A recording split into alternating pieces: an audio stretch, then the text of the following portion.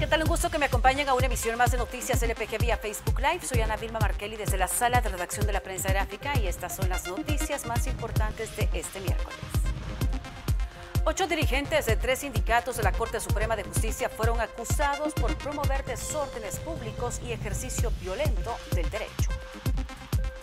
La Fiscalía del Salvador los procesa por cuatro hechos ocurridos en diferentes fechas, tales como cerrar los accesos a las instalaciones de la Corte Suprema, difundir mensajes en redes sociales llamando a la insurrección popular y evitar la realización de audiencias y diligencias judiciales. El fiscal general Raúl Melana aseguró que presentará la solicitud de antejuicio del diputado Arturo Magaña la próxima semana por el accidente de tránsito en el que se vio involucrado por el cual una persona falleció.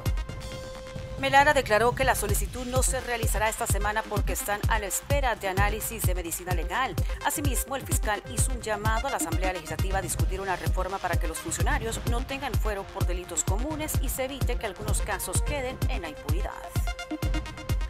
Nuevas Ideas es el partido que más coaliciones quiere tener para competir en las elecciones municipales y legislativas de 2021. El partido tiene a la Gran Alianza por la Unidad Nacional Gana a Cambio Democrático y al Partido de Concertación Nacional PCN como sus principales aliados. Con Gana Nuevas Ideas quiere ganar dos grandes alcaldías municipales, San Salvador y San Miguel. De la misma forma, con el CD, el partido también busca quedarse con alcaldías en más de 60 municipios de otros 12 departamentos.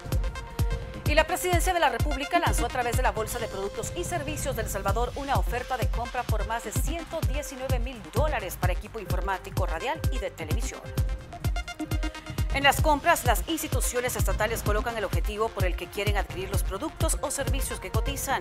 Sin embargo, este no es el caso de la mencionada oferta. Asimismo, el Ministerio de Hacienda ha reportado una caída millonaria en los ingresos estatales debido a la pandemia por coronavirus y mientras está en un periodo preelectoral.